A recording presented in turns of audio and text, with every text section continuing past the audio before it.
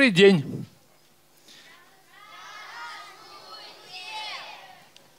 Я очень рад вас видеть у себя на лекции.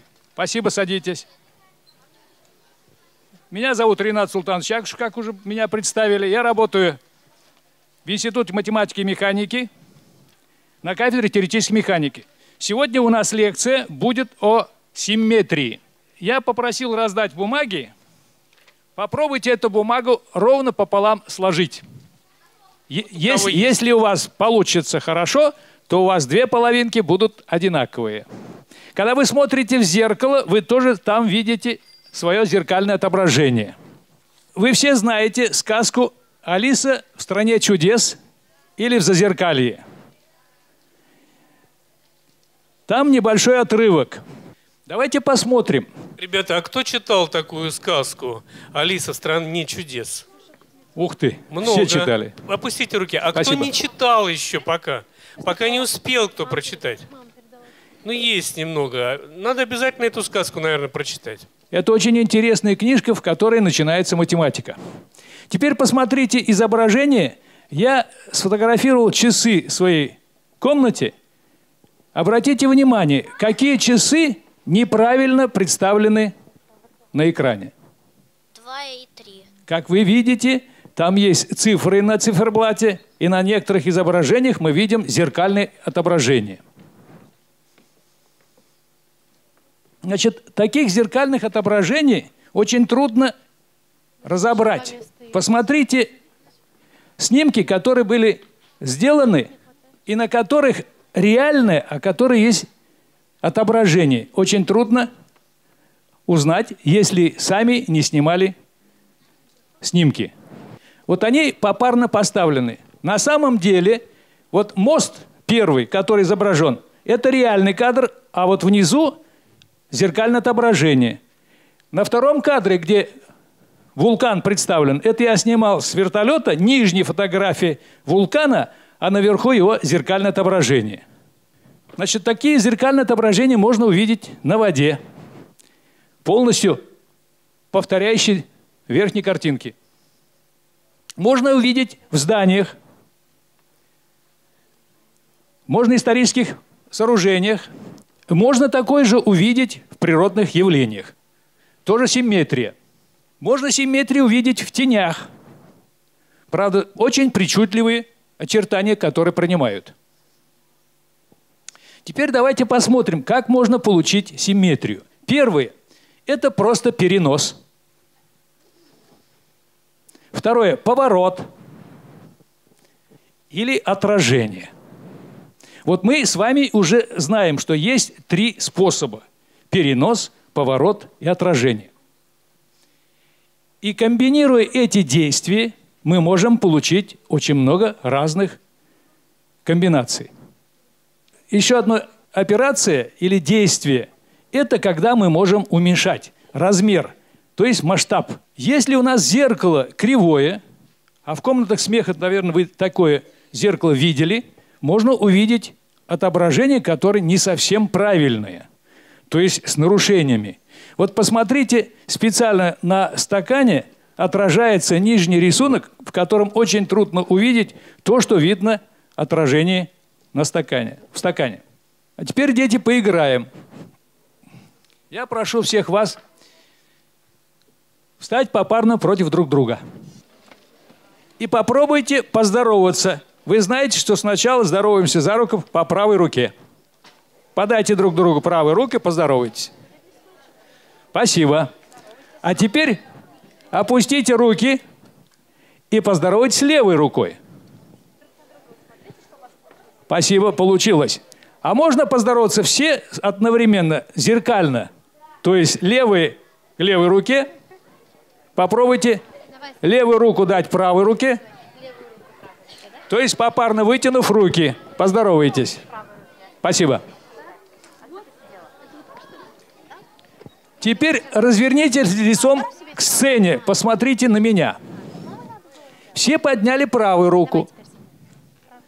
Все опустили. Левую руку. А давайте теперь сделаем такое упражнение. Два раза вверх правой рукой и один раз левой рукой. Получилось у всех? А теперь давайте сделаем наоборот. Два раза левой рукой и один раз правой рукой. Вот мы сделали два повторяющихся движения.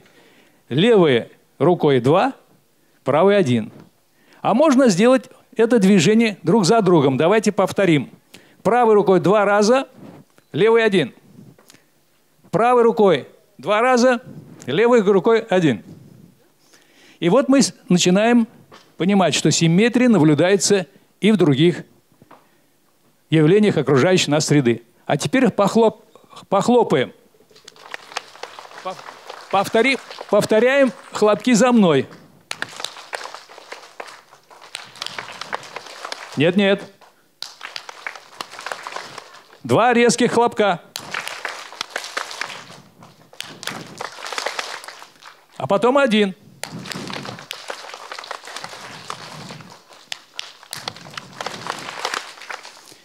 Вот смотрите, два хлопка резких, один длинный. Два хлопка резких, один длинный. А теперь сделаем, а теперь сделаем симметрию.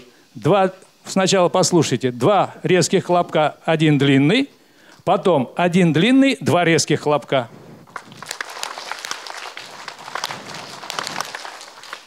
Послушайте, как я.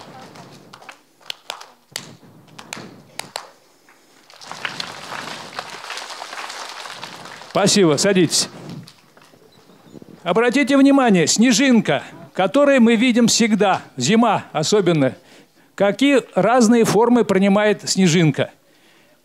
Когда пойдете домой, посмотрите на улице, внимательно рассмотрите снежинку и попробуйте ее нарисовать. Посмотрите на рисунок. Самое простое изображение. Вы представляете себе цилиндр, который можно получить вращением вокруг оси. Можно получить, вращая треугольник вокруг оси и получить конус. Можно получить, вращая полуокружность, шар. Шар со всех сторон одинаков, то есть у него очень большая симметрия. У цилиндра симметрия осевая, а вот конус, если перевернуть, получается перевернутый конус. Симметрию можно видеть во Вселенной, когда закручивается спираль. Поупражняемся. Если мы нарисуем круг, разделим ее вертикально половинку пополам. Обе половинки одинаковые? А если горизонтальные линии проведем? Симметричные. Значит, можем симметрию получить вертикальные, горизонтальные. Это, говорят, осевая симметрия можно увидеть симметрию более сложную, когда мы поворачиваем стрелочку на одну шестую часть и ставим цифру 1. Поворачиваем еще настолько же, ставим следующую цифру 2. Поворачиваем следующий, одну шестую часть, получаем цифру 3. И так дальше. То есть получается, мы можем, поворачивая вокруг оси, получить рисунки разные. И такие рисунки, когда мы рисуем, то получаем шестигранник, пятигранник, квадрат или треугольник. Все встаем и лицом к сцене.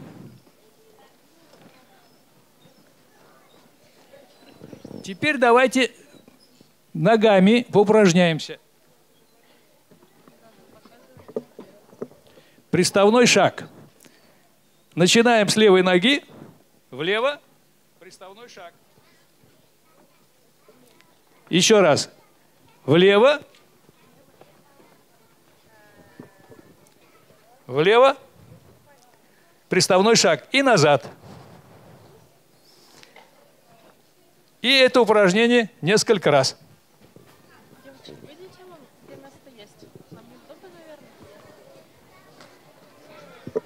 Только одно движение влево-вправо, влево-вправо. Достаточно. Спасибо.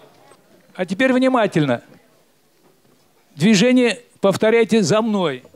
Левый носок представляем впереди правого носка. вернули на место. Правый носок вперед, назад. Вперед, назад. Вперед, назад.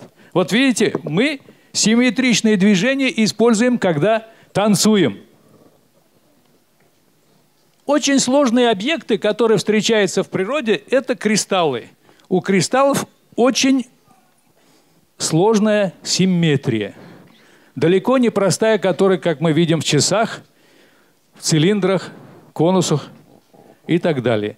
Кристаллы бывают очень сложной формы и со сложными гранями. Спасибо, садитесь. Обратите внимание, тут приведено несколько схем кристаллов – как они образуют симметрию. Очень интересная симметрия наблюдается, когда мы рассматриваем подсолнух. А теперь давайте вспомним арифметику. Вот первое число 1. Если мы добавляем к числу 1 еще одну, еще один, то у нас получится 2. Понятно? 1 плюс 1 – 2. Предыдущее число у нас единичка. Единичка плюс 2. Сколько будет? 3. Значит, следующее число у нас 3. Теперь смотрите, предыдущее число перед этим было у нас двойка. 2 плюс 3 сколько? 5. Итак, у нас получилось уже ряд чисел 1, 1, 2, 3, 5. Правильно? Теперь давайте следующий. Какое число у нас получится? Если у нас пятерка, предыдущее число 3, складываем, получается 8. Предыдущее число от восьмерки 5. 5 плюс 8 будет 13. Если мы будем так считать, мы получим числовой ряд, симметричный ряд он называется, ряд Фибоначчи. Вот интересно, в природе встречается, что семечки по кругу увеличиваются именно в соответствии с этим рядом. Конечно, симметрия используется во всех придумках природы. Самый простой – шестигранные соты. Почему шестигранные соты, симметричные соты используются в пчелиных сотах? Вот давайте пос посмотрим у себя дома. У вас, если плитки, они какую форму имеют? Квадратные? Вот если у нас плитки квадратные, везде мы пол можем выложить, независимо от того, помещение у нас прямоугольные, круглые или квадратные. Значит, если у нас будут плитки треугольные, одинаковой формы, сумеем мы покрыть везде пол? Правильно. Если мы соберем правильный треугольник, у нас получится как раз шестигранник – и дальше, продолжая таким образом, мы можем весь пол покрыть плитками. Значит, плитки, формы которые треугольную форму, квадратную форму имеют и шестигранную, мы можем покрыть всю площадь. Вы обратите внимание, что стороны у треугольника, три стороны, достаточно длинные. Одна сторона, вторая сторона и третья. А внутри площадь очень маленькая – если сделаем квадратную, опять-таки у нас длинных сторон 4, а площадь немножко больше стала. Самая большая площадь получается, когда мы сделаем шестигранник. Стороны, длина воска, который тратится на стенки, меньше всего будет, когда ячейки делаются шестигранные. Вот пчелы умеют оптимизировать, экономить воск – для строительства сот. Теперь давайте посмотрим симметрию, когда мы используем увеличение или масштаб. Маленький поворот, маленькая дуга. Эта же дуга увеличивается, прикладывается, продолжая дальше расти. И тогда мы видим раковину Натилуса. Очень интересная симметрия в сетях пауков. Очень интересные картинки они изображают. Можно наблюдать симметрию в оперении птиц. Самое красивое, красивое оперение у У какой птицы? Спасибо. В зеркало вы себя видели, сами себя. Обратите внимание, мы полностью симметричны или нет? Вот природа устроена так, что полной симметрии нет. Чуть-чуть мы прищуриваем левый или правый глаз. Чуть-чуть развита правая или левая рука. Это зависит от того, левша мы или правша. Но тем не менее, тем не менее, природа закладывает первое правило – симметрию. Другое дело, как мы это развиваем. Вот обратите внимание, размер Солнца и размер Луны. Если мы смотрим на небо, то мы обращаем внимание, что особенно ночью Луна очень большой кажется. Когда наблюдаем солнечное затмение, размер Луны полностью перекрывает Солнце. Это означает, что они одинаковые по размеру или нет? Почему? Почему размер Луны меньше, чем размер Солнца? Потому что Луна ближе, чем Солнце. Правильно. Луна ближе, чем Солнце. И несмотря на то, что у нее размер меньше, чем у Солнца, поскольку Луна ближе к нам, то изображение или образ Луны перекрывает образ Солнца. Посмотрите на картинку. Я специально нарисовал две буквы Г и Л. На Пятый. пятый. Так. Еще где? На четвертый. Так. Значит, первый, четвертый, пятый. Еще где? Восьмая, девятая и десятая. Восьмая, девятая, десятая. Это все получено за счет каких действий? Поворотов. Поворотов. Хорошо. Можете ли вы придумать фразу, которая читается одинаково, что спереди, то есть слева направо, и, или справа налево? Кок. А можно имена? Можно. Аня, я... Казак. Но если мы говорим Аня, то буква Я стоит. Или как? Шалаш. Шалаш слово хорошее. Еще Анна. Анна. заказ. Заказ. А Роза Казак. На, лапу. Казак. Еще, простите, еще раз не расслышал. Лепс спел. Алла. Алла. Доход. Спасибо. Молодцы. Как здорово, что вы так много знаете. Даже те слов, которые я не знал.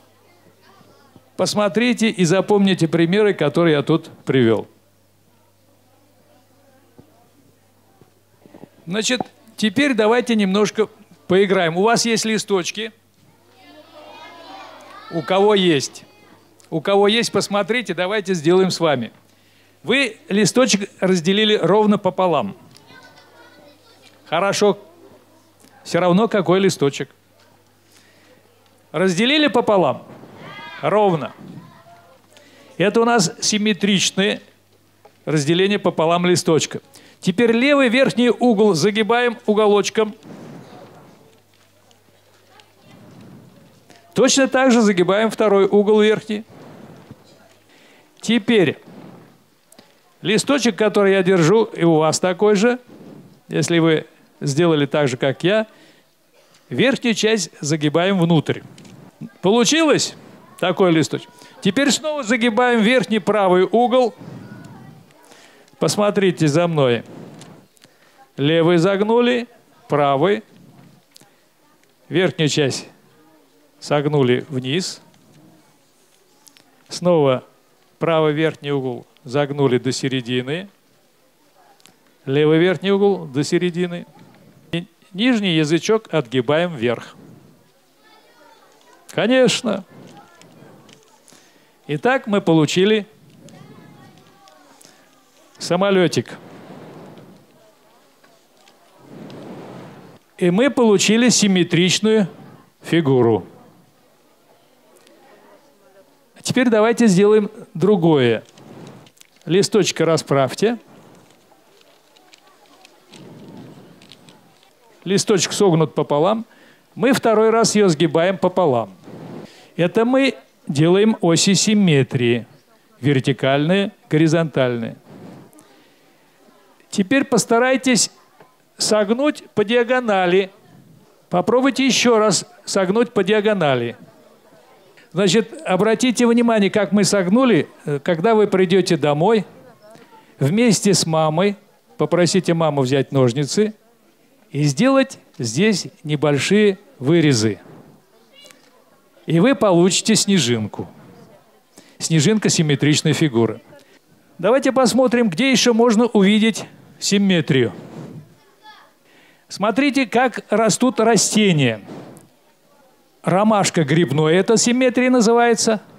И второй – симметрия листка. Посмотрите симметрии, которые с неба можно увидеть, когда облака. Симметрии, которые используются в народных изделиях. Обратите внимание, симметрии в живой природе. И теперь посмотрите на картинку еще раз. Запомните, пожалуйста, это имя. Это очень интересный художник, который показывает, как происходит преобразование. Метаморфозы называется. Ну и заканчивая свою лекцию, я вам говорю, улыбнитесь. Ваша улыбка чудесна. Ну что, поблагодарим Рената Султановича. Спасибо вам огромное. Спасибо.